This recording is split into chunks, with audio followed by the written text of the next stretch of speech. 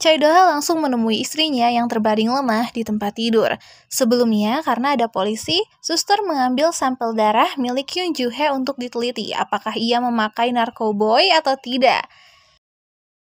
Di dalam mobil, Gong Ji-hoon mendapatkan informasi bahwa Hyun Joo-hae positif memakai narkoba. Oleh karena itu, Gong Ji-hoon menyuruh untuk menulis berita tersebut. 촉. 최 시장이 박창호한테 쓴 방식이랑 비슷하거든. Sementara itu, di penjara, Park Chang memberikan kartu tarot berlambang Big Mouse kepada Gan Soo Chol dan dia langsung mengumpulkan semua tahanan untuk diperiksa. 들어가. 잠깐.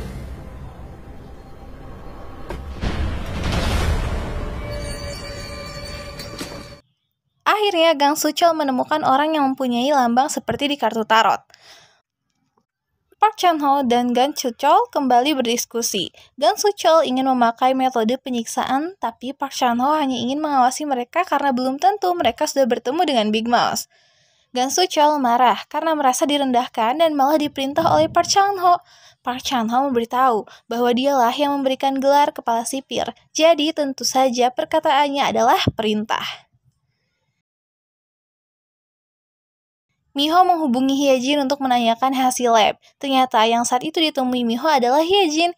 Hyejin mengatakan kalau dalam darah itu mengandung narkoba jenis baru dan kemungkinan besar itu adalah leukemia. Tapi Hyejin tak bisa menjelaskan secara detail karena dia butuh sampel darah yang lebih layak. Tanpa Hyejin sadar, di saat itu ada orang yang memotret Hyejin dan mengirimkannya ke dokter Han.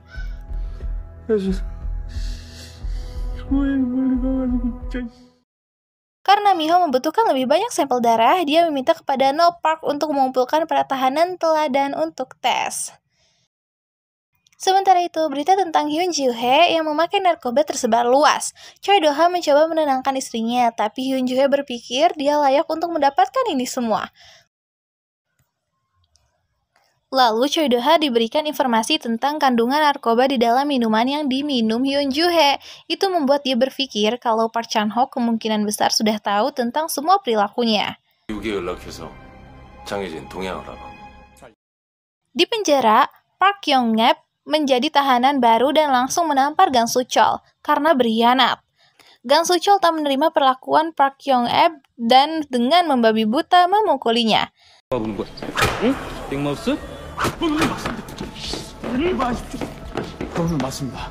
Tak sampai di situ, para bawahannya juga disiksa dan dibawa ke sebuah ruangan. Di sana, Gang Sucho menanyakan tentang Big Mouse, tapi Park Yonga belum pernah melihat Big Mouse secara langsung. Tak mengatakan apa pun dan di saat bawahannya digantung, Park Chan Ho datang dan meminta untuk menghentikan semuanya. Tentu saja, Gan Soo Chol tak menerima begitu saja, tapi dia melepaskan Park Yong Up setelah Park Chan Ho mengatakan gelarnya akan hilang apabila perkelahian terjadi. Dalam benak Park Yong Up tak pernah terlintas bahwa di kemudian hari, Miho dan Park Chan Ho lah yang akan membantunya. Di rumah sakit, Hyun Joo Hae meminta kepala suster untuk membawanya ke ruangan lab bawah tanah. Entah apa yang ada di dalam, tapi saat keluar, Hyun Joo Hae terlihat tertatih-tatih, seolah terpercaya dengan apa yang telah dia saksikan. Lalu Choi Do-ha datang dan membantunya untuk berjalan. Di penjara, Gang Suchol mengumpulkan semua tahanan setelah ia mendapat izin dari Choi Do-ha agar dirinya dengan bebas mengambil alih masalah Big Mouse. Karena menurutnya Park Chan-ho dan Park Yong-up telah bekerja sama. Park Yong-up dan bawahannya digiring dan menunjukkan kepada semua tahanan tentang tato yang mereka miliki dan berkata kalau mereka adalah bawahan Big Mouse. Juga Gang Suchol memberitahu semua orang kalau Park Chan-ho bukanlah Big Mouse, melainkan hanya seorang penipu belaka. Tak sampai di situ, Gan Suchol akan memberikan pengampunan khusus untuk orang yang berhasil menangkap Big Mouse. Setelah itu, Park Chan Ho langsung menemui Gang Suchol dan mencoba menghubungi Choi Do-ha. Tapi Choi Do-ha mengabaikan Park Chan Ho. Dia sangat berterima kasih kepada Gang Suchol karena sekarang dia tak perlu melakukan apa pun dan memperingatkan Gang Suchol untuk segera menemukan Big Mouse. Karena kalau tidak, Gang Suchol akan menjadi petugas biasa seperti sebelumnya. Suasana di penjara menjadi tak kondusif karena para tahanan mulai berontak. Di sana, mereka juga mulai berkelahi, dan Park Yong-up menjadi sasaran empuk para tahanan sebab dia adalah orang yang tahu tentang Big Mouse.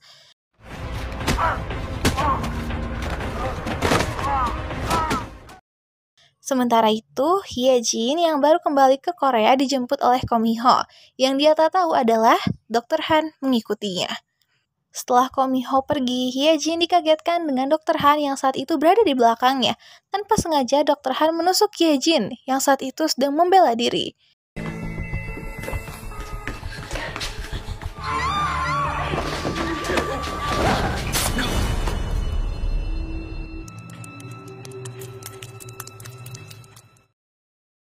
Choi Doha datang dan melihat Hye Jin yang berlumuran darah. Dan saat itu Dr. Han terlihat sangat ketakutan.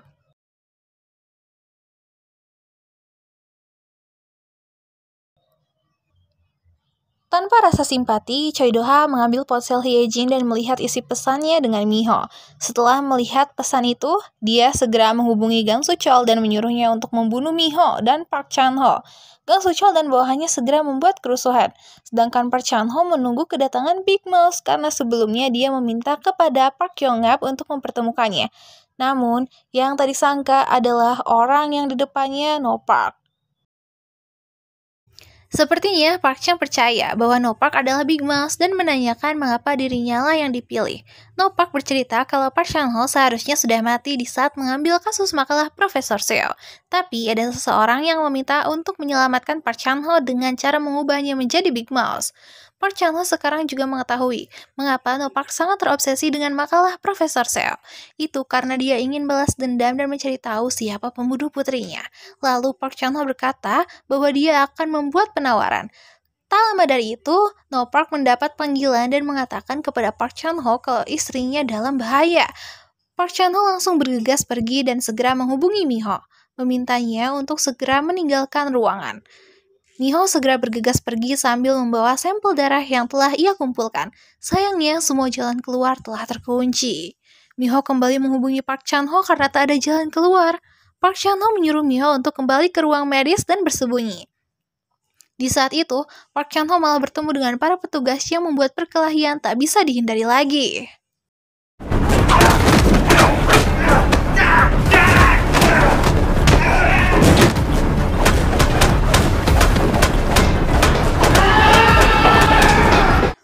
Untungnya, ketua yang di bawahnya datang membantu. Park Chan-ho kembali pergi, tapi sayangnya saat gerbang itu dikunci. Di saat Park Chan-ho mulai putus asa, Park Yong-up dan No Park datang dan membantu dengan membawa Park Chan-ho ke ruang medis. Ko Miho yang saat itu sedang bersembunyi dikagetkan dengan seseorang yang memecahkan kaca. Dan di saat orang itu masuk, Ko Miho langsung menancapkan jarum yang telah ia persiapkan. Tak lama dari itu, seseorang menerobos pintu dari depan. Miho tak tinggal diam. Dia mencoba melawan orang itu, namun sayangnya ia harus terpojokan. Untungnya, si psikopat datang dan membantu Miho.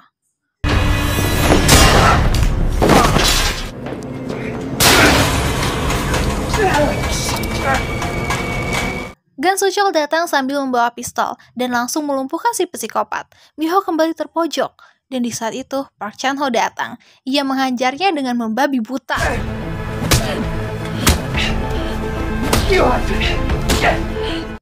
Park Chan Ho, Miho, Park Jong Up, dan No Park tak mempunyai jalan keluar karena di luar para petugas sudah menunggu mereka. Di situ, No Park menerima tawaran Park Chan Ho tempo lalu.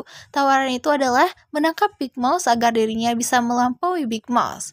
Park Chan Ho langsung menghubungi Gong Ji Hon dan memintanya untuk segera ke penjara. Choi Do Ha juga pergi ke penjara setelah Gan Chol tidak bisa ia hubungi. Mereka berdua bertemu di luar penjara. Dengan bangga, Gong Ji-hon mengatakan kalau hal besar akan terjadi. Kembali ke Park Chan-ho yang mulai memborgol No Park dan membawanya keluar dari ruangan medis sambil menodongkan pistol. Kejaksaan langsung menahan No Park dan Miho memberikan sampel darah. Telah ia dapatkan untuk memancing Big Mouse. Keesokannya, Park Chan-ho menghadiri persidangannya dan dinyatakan bebas setelah jaksa mencabut tuduhannya. Kini, Park Chan-ho menjadi orang yang paling terkenal karena berhasil menangkap Big Mouse. 가장 유능하고 정의로운 변호사. Di kantor, Park Chan-ho meminta Miho untuk tidak terlibat lagi dan membiarkannya mengurus semuanya. Lalu Miho menanyakan tentang sampel darah yang telah lama ia simpan. Ternyata yang ia berikan kepada Gong Ji-hoon bukanlah darah milik para tahanan teladan, melainkan milik Park Chan-ho dan yang lainnya. Gong Ji-hoon menerima hadiah dari tetua setelah ia berhasil menangkap Big Mouth serta bukti sampel darah. Tapi semua berubah setelah tetua yang melihat aksi Park Chan-ho yang melakukan konferensi pers dan menyebut bahwa dia akan mengungkapkan kebenaran tentang makalah Profesor Seo. Park Chan-ho juga berniat mengajukan jaminan untuk Big Mouse. Di sisi lain, Miho berhasil menemukan tempat para tahanan bekerja, tapi tiba-tiba saja bangunan roboh yang membuat banyak orang keluar dengan penuh luka.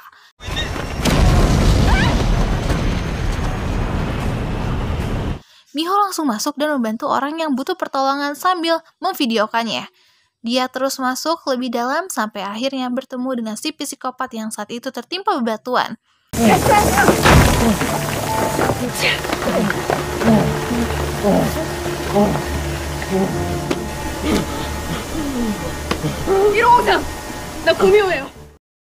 Di kediaman tetua Kang, ia memberitahu kepada Choi Doha tentang masa lalunya yang di mana ditinggalkan oleh seorang teman karena perbedaan pendapat. Yang ketua tak tahu adalah Choi Doha adalah anak temannya yang mati akibat kecelakaan. 생각하는 정의로 제가 마무리 짓겠습니다. Permintaan jaminan Big Mouse diterima. No Park dan Park Chan-ho pergi ke restoran tempatnya tinggal. Di sana, Park Chan-ho meminta nama orang yang menyelamatkannya, karena meskipun dia sudah berpikir keras, tapi tidak ada satu nama pun yang terbesit di kepalanya. No Park meminta Park Chan-ho kembali lagi besok malam, dan dia akan mempertemukannya. Tapi setelah Park Chan-ho keluar dari restoran, tiba-tiba saja